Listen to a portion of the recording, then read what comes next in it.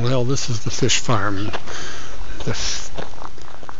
Right here, what I'm doing, I've got these um, international bulk containers, and uh, dug this hole here with the groundwater in it.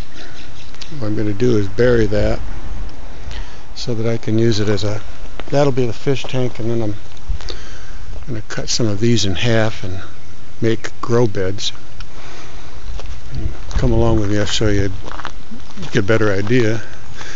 What I'm doing here, uh, this is just the beginning. I've got this closed off with some cardboard and some visqueen, but uh, this is going to be uh, filled with evaporative cooler pads that uh, water circulates over and then the air will be drawn in through that wall into this room air will come in underneath of this uh, grow bed here. Let me put the shade up.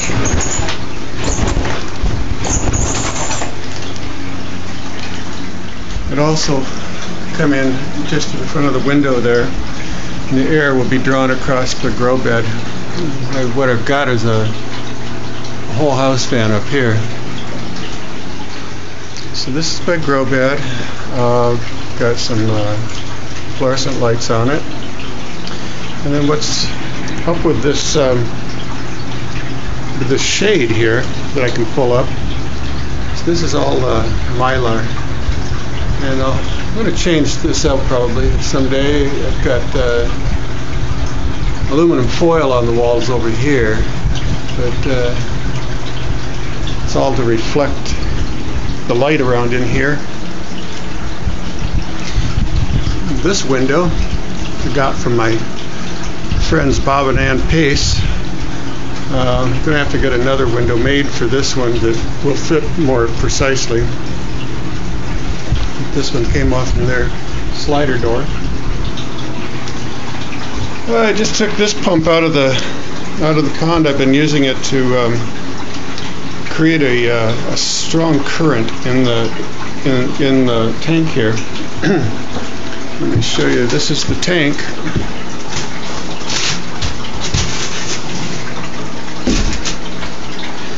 Keep that piece of uh, foam insulation down on the top of the tank here because, uh, let me see, they'll come up and greet us, I'm sure. Here they are. Come on, guys. Yeah, they get a little excited sometimes and they'll uh, They'll jump right out of the tank, I think. That's what I'm worried about, anyhow. So what I got going on here is a pickup tube that goes down to the bottom of this tank. And uh, it's a 800 gallon tank. Got the water coming in over here. That's a flow meter on top of there. Uh, sort of maxed out. The flow rate is probably about 700, 500, about 500 gallons per hour. And uh, the, I just I just put it on there, but it's a little underrated. I think it only goes up to 250 gallons per hour. So what we got here is a pickup tube that goes down to the bottom of the fish tank and uh, picks up uh, water and debris, and then the overflow comes out into this spin filter that I built.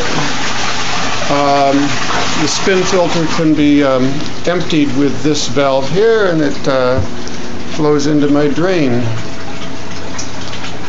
Um, coming out of the spin filter, here, let me pull this uh, blind up.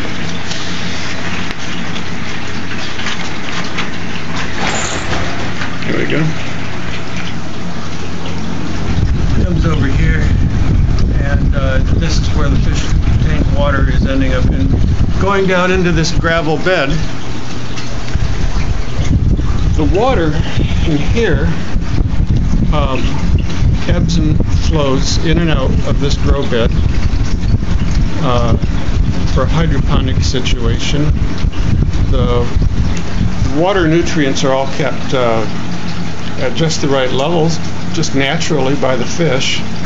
Although I I do have this laboratory set up where I, I uh, monitor my um, chemical levels every day the ammonia, nitrate, nitrite, nitrate, uh, phosphate. I, I add a little salt to the system, so I've got a salt meter here. Uh, measure the phos- phosphate and um, pH, and yeah, so got uh, a scale set up here for measuring how much food I'm feeding these guys, and uh, try to come up with a good calculation of how much I should be feeding them by estimating their weight.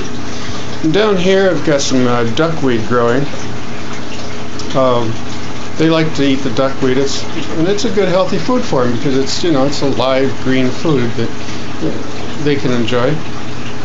And this is an empty tank um, that I'm going to just keep going. Uh, I'll just add a little ammonia to it every once in a while just to uh, make sure that it's always available. But it'd be like my little hospital tank in case I have a fish that I have to take out of the big tank and and uh, completely isolate from the other from the fish community.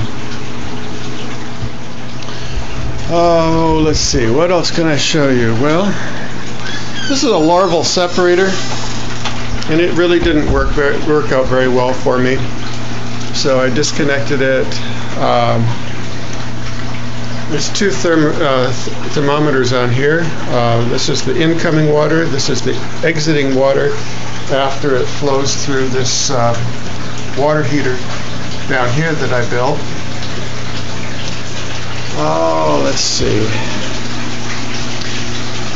Yeah, so uh, I got this uh, a lot of this material I actually got from from our church, which was recently remodeled.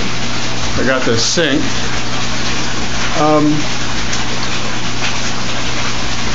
well, that's about all I wanted to show you. What I'm going to do, though, is I'll probably take all the gravel out of this bed and build several more outside out here where all these IBCs are.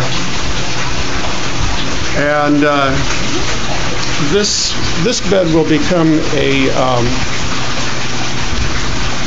it'll just contain water and I'll float uh, styrofoam on top and grow the um, lettuce and tomatoes in here. I mean lettuce lettuce and uh, spinach in here on a floating bed. And then move things like um, tomatoes and let's see, I got a pepper back here, and strawberries, and uh, let's see, got some oregano growing back here. I'll move that kind of thing outside so it could have more uh, full sun. And of course, I'd still go ahead and plant uh, lettuce out there too, and lettuce and and um, spinach in the summertime. But uh, yeah, that'll be sort of a seasonal thing where where that's uh, operated out there. But in the in the wintertime, I'll probably just do uh, spinach and lettuce inside here and and augment uh, the light with um, these fluorescents. Even though I've, I do have nice big windows here, I just feel that uh, it needs more light. Uh, so there is my tour of the grow room.